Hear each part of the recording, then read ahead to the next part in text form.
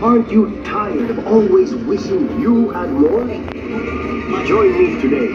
Operators are standing by. You don't need a